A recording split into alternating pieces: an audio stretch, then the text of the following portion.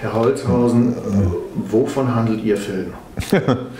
ja, mein Film handelt von einer Institution mit 400 Personen, ähm, ist in Wien. Das ist das Kunsthistorische Museum. Da geht es naturgemäß um Kunstgeschichte, um Bilder, um Kunstwerke, um bekannte Objekte, glaube ich, um weniger bekannte, aber eigentlich vor allem um, geht es um Menschen und wie die miteinander irgendwie das Ding tun, was sie tun müssen. Warum haben Sie diesen Film gemacht? Ja, da gibt es mehrere Antworten darauf. Äh, eine private, die ist die, ich habe selber mal Kunstgeschichte studiert, äh, bevor ich dann endlich zum Film kam. Und da ist das irgendwie eine Form sozusagen der, der, biografischen Aufarbeitung, wenn man mit Leuten zu tun hat, die man ja auch aus dem Studium kannte. Also ich bin ja Kuratoren, Sammlungsleitern begegnet, die mit mir studiert haben, die einen anderen Weg gegangen sind als ich. Das war manchmal ein bisschen seltsam. Also das war sozusagen die, die, die, die biografische Wurzel, den Film zu machen. Eine ganz pragmatische ähm, Begründung war, die äh, Museumsdirektion hat gewechselt, es gibt eine neue Museumsdirektorin und da hatte ich so das Gefühl, die ist irgendwie offen, die interessiert sich für eine Arbeit, die sie vielleicht auch nicht kontrollieren kann. Die gibt mir etwas Freiraum und das war dann tatsächlich so. Also deswegen gibt es den Film, weil die neue Leiter, Leiterin das wollte, es mir erlaubt hat. Und ja, das Dritte ist, ich finde Institutionen, wie eben ein Museum es ist, ein wunderbares Spielfeld, Spielfeld für Dokumentarfilm. Da gibt es so viele Möglichkeiten so viel flexible, man kann ausweichen, man kann andere Wege finden, um die Dinge zu erzählen, die einen interessieren.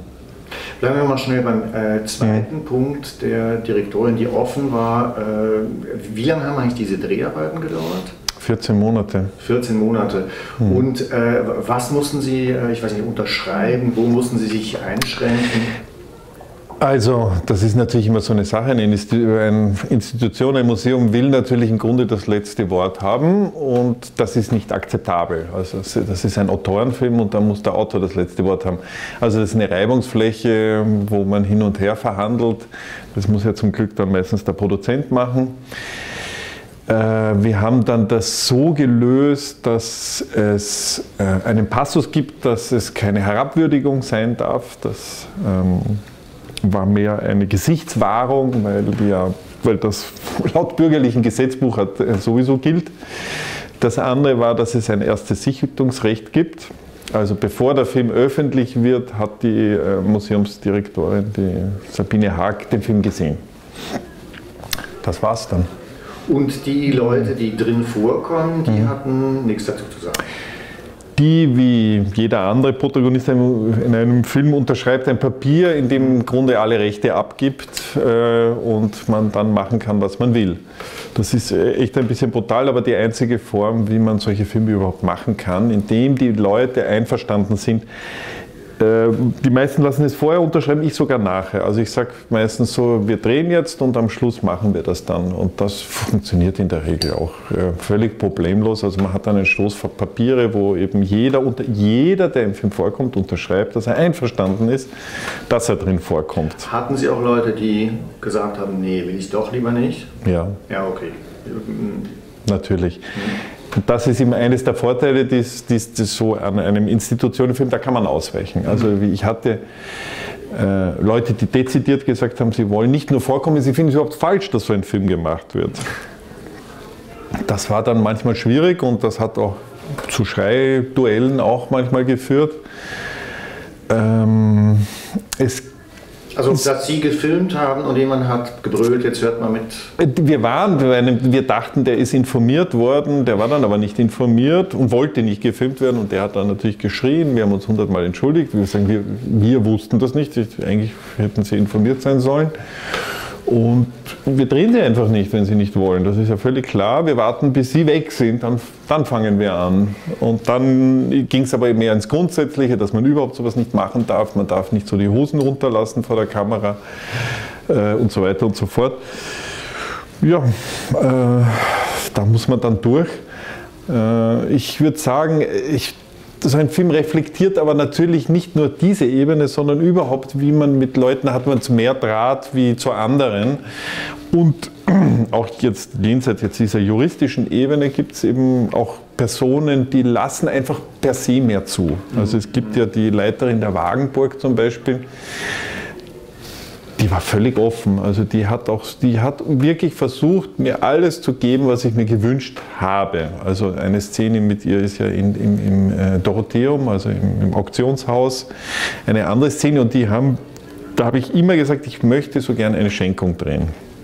Ich finde es wichtig, es hat auch aus soziologischen Gründen, das ist ja sehr in diesem großbürgerlich-adeligen Milieu verhaftet. Vielleicht, wenn Sie noch schnell sagen, die Schenkung, das war die Schenkung war mir für den Film ein sehr wichtiges Ereignis, das ich mir gewünscht habe. Ähm, das ist diese Uniform.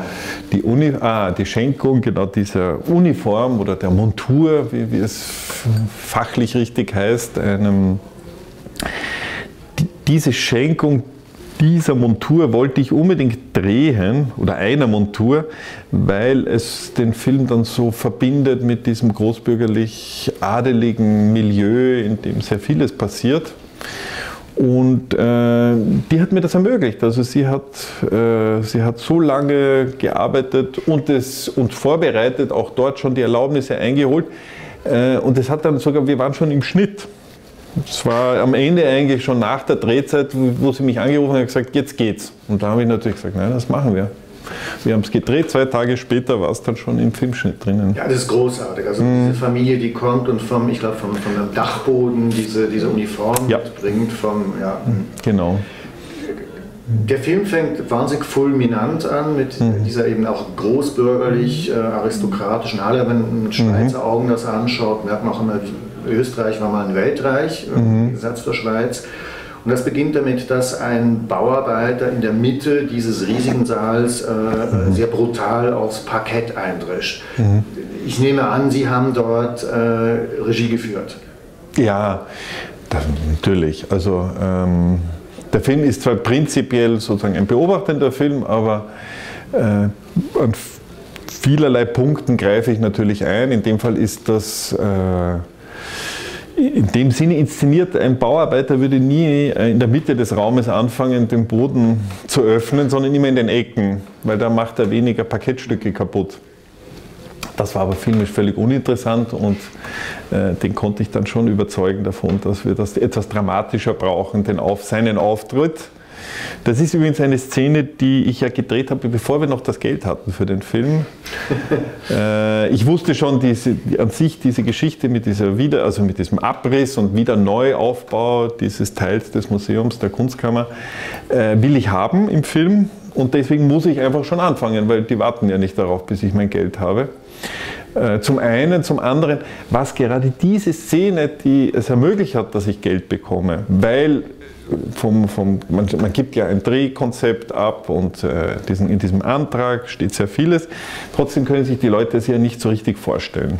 Und da habe ich gesagt, na das, so stelle ich mir den Film vor. Und habe ihnen diese Szene vorgespielt. Habe gesagt, das ist die Visitenkarte von dem Film. Und dann war das wohl das i-Tüpfelchen, das es ähm, ermöglicht hat. Äh, wie stark sind Ihre Bilder davon geprägt, dass Sie Kunstgeschichte studiert haben? Puh, ich hoffe, Sie sind davon geprägt, dass ich Filmemacher bin. Ja, als Filmemacher kann man ganz, glaub, viele, ganz viele Arten von, von Bildern machen, aber das, das, das würde ich auch als Performance überall durchgehen, nicht? Es, es, ähm, mir, es ist tatsächlich mein Studium als in Kunstgeschichte hat sich ausgewirkt. Das hat sich nämlich ausgewirkt auf der Ebene von einem Dagegenarbeiten. Also ich habe ja als Student das Museum eher immer als ähm, ermüdend wahrgenommen. Und die Ermüdung kam daher, dass diese imperiale Architektur ja auch so drückend ist, einschüchternd. Und äh, von vornherein wollte ich etwas machen, was völlig gegen das arbeitet. Also ich, äh, ich habe gedacht, ich muss diesen Film so machen, dass man, ähm, dass man ihn demokratisiert, dieses, dieses Haus, dass man sich, da, dass man sich freispielt von diesem von, von diesem Ballast, der einfach da auch mitgeschleppt wird. Das ist wirklich ein, eine Hypothek, gegen wo ich gedacht habe, na, da muss ich was dagegen machen. Auch in der Auswahl der Objekte, die man dann sieht. Also es kommen ja immer wieder so ähm, Dinge vor, die mehr mit der Natur verbunden sind. Stichwort ein Eisbärfell äh, spielt eine wichtige Rolle im Film. Äh, das war eine, so eine Lust, äh, daran, gegen dieses, ähm, diese Hierarchie der, der, der, der Kunstwerke zu arbeiten. Also äh, die Saliera zu kombinieren mit Fröschen, das war einfach ein Spaß, den ich mir dann erlauben konnte. Obwohl ich sehr wohl der Meinung bin, dass Kunstwerke eine Qualität haben, die sie schon erhöhen über andere Objekte. Mhm.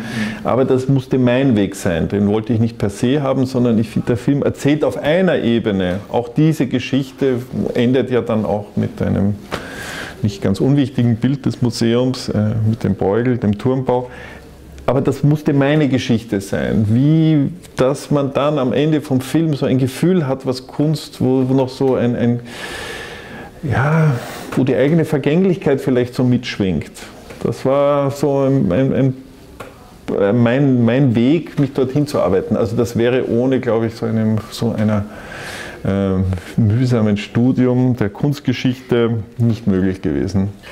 Sie glauben, die, die, die große Müdigkeit, die einen äh, zuweilen angesichts des mhm. Großartigen der Kunst oder des äh, Überhöhten der Kunst mhm. überfällt, das hängt mit der imperialen Architektur zusammen. Das also, wäre im modernen Museum nicht der Fall. Nein, es ist, es ist ja auch, wenn ich war ja in Basel im Kunstmuseum, da atmet ja ein völlig anderer Geist entgegen. Das ist im Bürgerlich. Also da ist ja auch ein ganz anderes Verständnis, äh, welchen Zweck Kunst hat und so. Man spürt, das sind, ähm, das sind Schenkungen, Leihgaben, das ist ein, da, da spricht eher eine Gesellschaft daraus und nicht sozusagen eine einzelne Figur. Also das Kunsthistorische Museum besteht ja im Kern aus der Sammlungstätigkeit von einem Fürsten, der eben in, damals im österreichischen Belgien, also in den Niederlanden, äh, dort äh, Statthalter war. Der hat Bilder eingekauft und das sind, macht den Hauptteil aus. Also das ist äh, und, und, das ganze Gebäude ist ja gebaut worden für diese Kunstwerke. Das, die waren ja festgelegt. Man hat 1880 gewusst, das ist die, diese Bilder haben wir und für die bauen wir jetzt den, den, den protzigsten Rahmen, den wir uns vorstellen können. Das wurde gemacht. Ja, das finde ich dann, kann schon ermüdend sein. Äh, wie, wie, machen Sie das, dass Sie das auflösen? Sie haben gesagt, das eine ist, dass Sie so Fallhöhen einbauen, indem Sie hohe und niedere Objekte äh, mhm. äh, kombinieren. Wie machen Sie das sonst noch? Also zum einen mit der Kadrage, also wir haben immer so versucht, äh, visuell auch dem immer etwas entgegenzuhalten. Man muss eine Position einnehmen. Wenn man sich in so einem... Ge Nein, indem man äh, den, was, was heißt das? Kadrage heißt, dass der Kameramann Positionen findet und wir uns so entscheiden, wir nehmen das mit, in diesem Winkel, in diesem, mit dieser Brennweite auf. Die äh, korrespondiert mit dem Bauwerk. An sich könnte man sagen, das ist immer so, aber in so einem Museum ist es extrem. Können Sie ich muss, ein Beispiel nennen?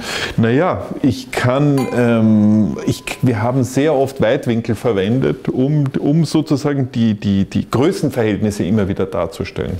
Also es gibt auch eine lange Fahrt, eine, das war ja auch technisch jetzt schon aufwendiger, mit, wo wir mit einem Rollerfahrenden mitfahren, um diese, um diese, um diese, diese Weite, diese unendliche, scheinbar unendliche Zahl von Räumlichkeiten, durch die sich jemand, der vom Computer zum Drucker muss, sich bewegt, das umzusetzen.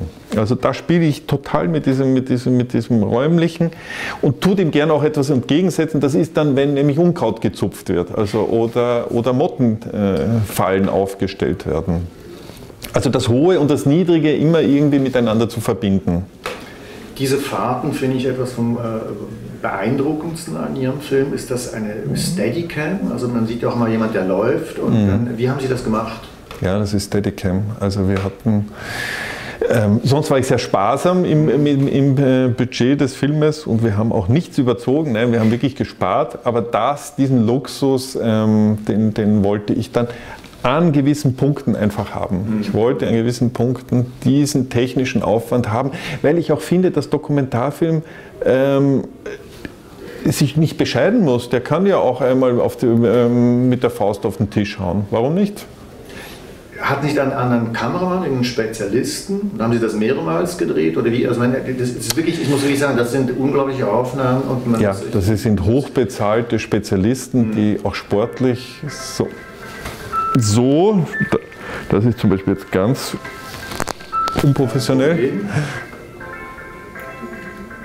Soll ich schon stoppen? Ich ja. Das war jetzt das Telefon, das läuft, weil Sie den Code nicht wissen. Und genau, genau. Das finde ich großartig. ja. Tatsächlich bin ich in gewissen Bereichen technisch völlig unbedarft und das fängt schon an beim Smartphone. Das überfordert mich schon völlig. Ähm, Deswegen bin ich auch sehr froh, dass es ja im Film Arbeitsteilung gibt, also mhm. dass es äh, Leute gibt, die wissen, wie man eine Filmkamera bedient. Und äh, obwohl ich das auch studiert habe, bin ich froh, dass ich das nicht mehr anrühren muss, um mich dann auf das zu konzentrieren, was mein eigentlicher Job ist. Mhm. Äh, ja, ich habe, ähm, es gibt Spezialisten, die ähm, hoch bezahlt sind, die trainiert darauf sind, auch schwierige Situationen eben mit so einer Steadicam zu, zu lösen. Also der kann eben dann auch mit diesem ganzen Gerät, das er sich um die Hüften schnallt, äh, einem Rollerfahrer auch nachlaufen. Wie oft hat er das gedreht? Wir haben es einmal geprobt und dann ist es gedreht das worden und dann hat es da muss ich wirklich sagen, war, ich, ich fand, das hatte so etwas mhm. Hypnotisches, das zieht einen irgendwie ja. ein. Das ist, muss ich auch sagen, das, äh, das Zweite, was Sie vorhin gesagt haben, eben neben den äh, Kadragen, äh, war das zweite Mittel, um dieses Heere dem Museum ein bisschen auszutreiben, mhm. dass eben Motten fallen und so. Was haben Sie da noch für, für, für Elemente gehabt, wo Sie so dieses Profane reinziehen? Mhm. Also das Profane ist, also wie gesagt, über die Objekte, die, die, mit denen ich spiele, über die über Arbeiten. Also ich unterscheide nicht zwischen, zwischen akademischen Arbeiten und niederen Arbeiten. Das ist das Schöne am Film, dass man die alle gleich behandeln kann. Und dadurch werden erst so Hierarchien ja sichtbar in dem ich springen kann von dem einen wie zum anderen und ja immer nur die physische Präsenz der Protagonisten, der Augenblick, in dem sie zu sehen sind, entscheiden über ihre Stärke oder Nichtstärke. Das ist einfach toll. Deswegen liebe ich auch. Stärke, Sie meinen in der Hierarchie oder in Nein, oder die, Stärke, die Stärke in der, in der persönlichen mhm. Präsenz von Menschen. Ja. Und da kann eben die, die, die, die, die Dame vom Besucherdienst eine, eine, eine reichere Persönlichkeit sein als jemand, der, der in den Direktorenebene agiert. Die Dame vom Besucherdienst, die sich beklagt, dass sie eigentlich nie mhm. vorgestellt worden ist. Ja. Mhm. Und sie thematisiert natürlich etwas, was dieses Museum auch prägt, mhm. denn Imperiales bedeutet auch Hierarchien, bedeutet, ähm, man denkt von oben nach unten, man teilt Befehle aus und beachtet halt vieles auch nicht. Das erzeugt dann nebenbei Kommunikationsprobleme, wie es einmal so kurz auftaucht, wenn das neue Logo vorgestellt wird und der, und der Sammlungszuständige erst im Zuge dessen erfährt, dass seine, seine eigene Sammlung umbenannt wird, nämlich so wie es die, die, das Marketing und die Tourismusabteilung sich wünschen. Ja, das ist dann natürlich der Preis dafür, für, für, äh, für solche strengen Hierarchien, wie sie da ganz selbstverständlich genommen werden. Also da finde ich, schlägt schon noch so ein, sagen wir mal, geistig dem Kaiserlichen näherstehenden als dem Republikanischen. Ähm, das ist aber prinzipiell ein Thema des Filmes, dass da immer sozusagen auch mit, mitläuft. Wo, wobei äh, das ja auch so eine Modeerscheinung ist, mhm. äh, irgendwie dieses Logo verhandelt wird äh, in diesem, in diesem Marketing-Sprech mhm. oder mhm. auch die, die Ökonomisierung, mhm. die totale, die da durchdringt. Ja. Diese Museen sind natürlich nicht im luftleeren Raum, die müssen um Geld kämpfen, sie müssen Geld rational verteilen, einteilen. Sie brauchen Besucherzahlen. Sie werden gemessen an den Zahlen der, der Besucher. Das ist mir vertraut auch als Dokumentarfilmer, denn auch ich werde gemessen an dem, wie viele Leute den Film im Kino sehen werden. Das ist problematisch. Es ist aber ein grundsätzlicher Zug, der, was man so Neoliberalismus nennt, der seit Mitte der 90er Jahre so, so kommt, wo ähm, in diesem alten Wett oder in diesem alten Kampf zwischen Bewahren oder Vermitteln die Vermittlerseite sozusagen überhand nimmt und das Bewahren ähm, eher im Verschwinden ist. Wobei man sagen muss, das Kunsthistorie macht das eh noch in bescheidenem Maße. Es gibt ja andere Museen, die reiten dann von Rubens über Rembrandt zu Picasso und ähm, machen mit das, über das Name-Dropping ihre, ihre Zahlen. Da ist das Kunsthistorische eh noch vorsichtiger. Nichtsdestotrotz stecken die genauso in dieser, in dieser Maschinerie drinnen und sie müssen damit in irgendeiner Art und Weise umgehen. Sie haben vorhin gesagt, äh, bei den Motiven, den Film zu machen, neben dem äh, biografischen der neuen Direktorin, war der dritte Punkt die, äh, das Interesse an Institutionen. Ja. Gehen Sie da aus von irgendwelchen Theorien, ich meine, die Kehlen, Institutionen, äh, Theorie oder sonstigen? Nein, wenn ich, das meine ich ganz pragmatisch, dass eine, Inst dass eine Institution es gibt ja die, also der Erfinder sozusagen dieses Genre, Subgenres des Dokumentarfilms ist ja Frederick Wiseman, der mhm. seit 40 Jahren, also ich glaube, ja, die ersten waren in den 60er Jahren, äh, fast jedes Jahr irgendeine Institution vorstellt. Das geht ja über Atombomben, über Mönchsorden, zur, zur Pariser Oper, nebenbei jetzt zur National Gallery. Also das ist schon ein, das hat schon auch einen Grund. Der Grund ist der, dass das einfach sehr filmisch ist. Also es gibt ich würde nicht sagen, bei, bei, bei Wiseman war das Interesse vor allem so ein äh, äh, aktivistisches, soziologisches. Ja, natürlich. Also sicher da, also in den 60er Jahren, was war da nicht soziologisch, aktivistisch? Natürlich, ganz mhm. klar. Also das ist sicher, ähm, wenn wir diesen frühen Film von ihm denken, Need, mhm. das ist ganz klar eine Kapitalismuskritik, die da, die da in sich ruht. Da gibt es ja auch eine Szene, wo der Chef dieses, dieses großen Schlachthofes japanischen Touristen erklärt, wie viele Viecher sie täglich töten und so äh, mit unglaublichen Zahlen und so auftrumpft. Ja, das ist äh, klar, da, das ist, eine, das ist eine, eine, eine Kritik, eine Systemkritik, die da passiert. Das ist bei Ihnen aber nicht der Fall. Also sicher so nicht. Also ich denke, ein Museum.